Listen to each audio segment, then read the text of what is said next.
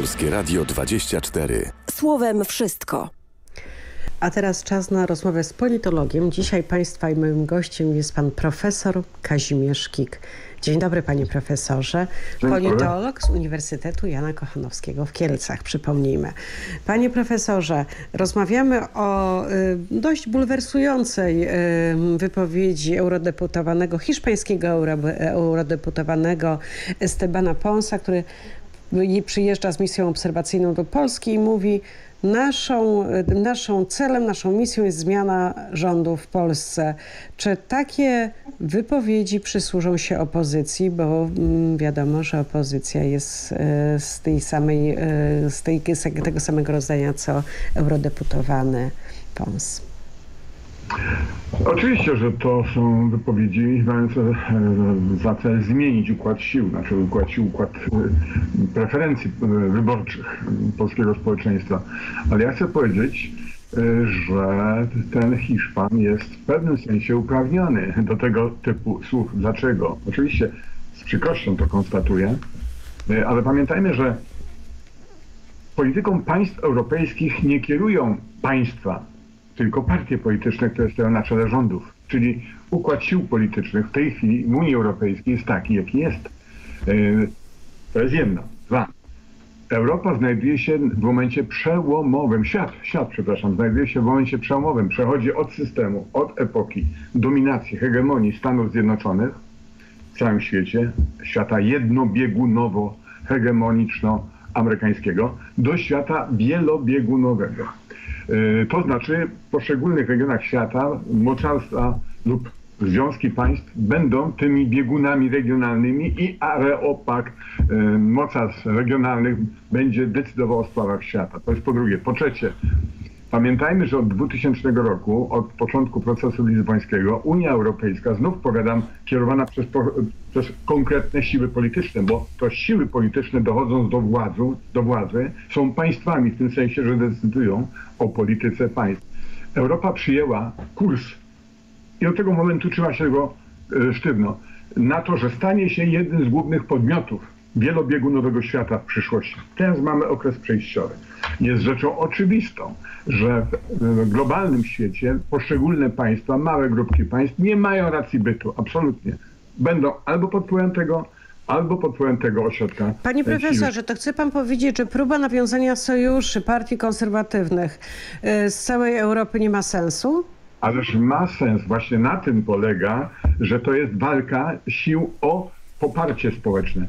Jeżeli siły konserwatywne, rzecz jasna, osiągną taką skalę poparcia społecznego w skali Europy, rzecz jasna, to one będą decydowały o kształcie Europy. One wspólnie. W tej chwili mamy przewagę w Parlamencie Europejskim, w instytucjach europejskich, w Europie y, czterech frakcji Parlamentu Europejskiego. To są frakcje, które są skierowane przeciwko. Mają inny ogląd Europy E, integracji europejskiej niż e, Prawo i Sprawiedliwość. Zupełnie inne.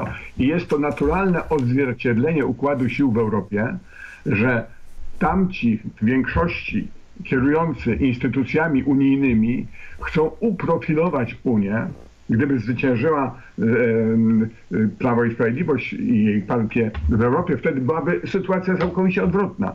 Więc ja myślę sobie, że my, Polacy, musimy się zdecydować czy zgadzamy się na koncepcję świata wielobiegunowego? Możemy się nie zgodzić, świat i tak pójdzie w wielobiegunowość. Po drugie, czy chcemy być elementem składowym świata wielobiegunowego? Znaczy, czy chcemy partycypować e, w Zjednoczonej Europie, która chce być podmiotem polityki światowej.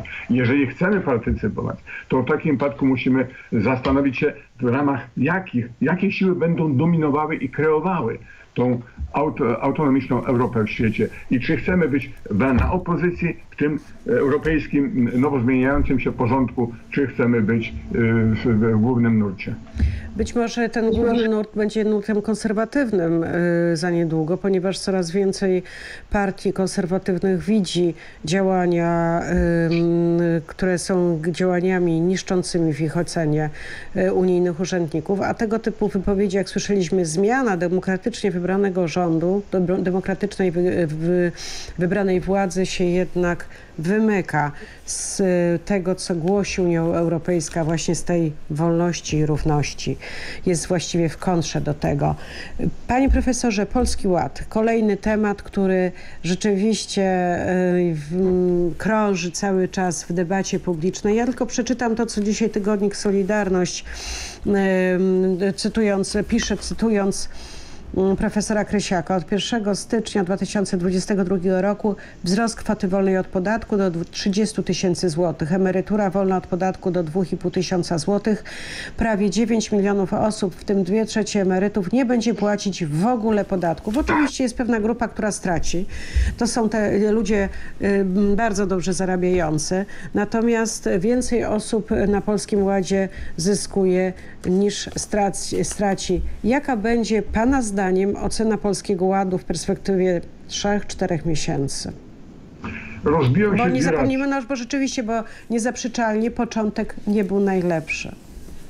No tak, to są błędy. Y, ale y, ja myślę tak, że albo ład będzie kompromisem, no, różnych interesów grup społecznych, albo będzie taka sytuacja, że będzie inaczej akceptowany w kręgach um, opiniotwórczych, czyli no, w elektoracie powiedzmy sobie ugrupowań opozycyjnych, a inaczej będzie traktowany w, w kręgach popierających Prawo i Sprawiedliwość. I ja chcę powiedzieć, że wtedy pogłębi się polaryzacja polityczna jeszcze o ten odbiór i o plan dla Polski. Więc ja myślę tak, że kompromis. Kompromis jest niezbędny z dwóch powodów. Ja z kolei byłem zwolennikiem Nowego Ładu. Byłem, naciskam na słowo, byłem. E, oczywiście nie kieruję się własnymi interesami, ale straciłem jako profesor, prawda? I to tam kilkaset ładnych złotych, tak pod tysiąc w sumie, ale to nie jest istotne. To nie jest istotne. Istotne jest to, że na tym ładzie tracą grupy społeczne, gospodarcze najbardziej um, pchające polską gospodarkę do przodu. A panie profesorze, a gdzie jest, musimy powoli kończyć, ale chciałam jeszcze zadać to pytanie. Pan wielokrotnie dawał wyraz temu, że jest pan zwolennikiem solidaryzmu społecznego. Tak i e, solidaryzmu, zwłaszcza z tymi, z tymi grupami, które nie mają siły przebi przebicia. E, I gdzie jest tutaj miejsce na solidaryzm? Mówi Pan o tym, że tracą grupy, które są no, uprzywilejowane, jakby nie było, ale, ale nie, a solidaryzm? nie chodzi mi o te grupy uprzywilejowane. E, ostatnio w moim sklepiku zatrzymał mnie właściciel małego sklepiku powiedział, no naubliżał mi, mówi pan jesteś zapisem i tak dalej, a ja zamykam swój sklepik, ponieważ y, musiałbym dodawać do tego interesu i jestem już w deficycie. Y, ja popatrzałem tak troszeczkę uważniej, że ten ład, bardzo słusznie pomyślany, ja wcale nie neguję zasadniczej idei, musi myśleć o tym, że suma suma wysiłków najbardziej aktywnych gospodarczo obywateli Polski tworzy polskie dobro e, ekonomiczne, dobrobyt. I, I, nie wolno w tym solidaryzmie, o którym pani słusznie wspomina, nie wolno e, zapominać o tych grupach, ogromnych milionach ludzi, którzy są siłą rozwijającą, siłą dynamiczną polskiej gospodarki, bo tylko jak polska gospodarka będzie siłą dynamiczną, można będzie dzielić dobrobyt na, e, jak pani słusznie powiedziała, w duchu solidaryzmu. I dlatego ja myślę tak, że duże korporacje, ogromne prywatne, y, słusznie już y, polityka światowa idzie w tym kierunku, opodatkowanie dużych korporacji międzynarodowych. Od tego powinniśmy od góry, powinniśmy zacząć. I tutaj, panie profesorze, musimy skończyć. Bardzo dziękuję za rozmowę. Pamiętajmy, proszę państwa, że solidarność społeczna to jest niewykluczanie nikogo, a tutaj jest bardzo słuszna uwaga pana profesora, że się, powinno się zacząć od właśnie wielkich korporacji, ponieważ ich wielkie korporacje najmniej odczują, a prawdopodobnie w ogóle nie odczują Polskiego Ładu. Dziękuję bardzo za rozmowę państwa i, i moim gościem był pan profesor Kazimierz Kik, politolog Uniwersytet Jana Kochanowskiego w Kielcach. Dziękuję panie profesorze. Dobrego Dziękuję dnia. Bardzo.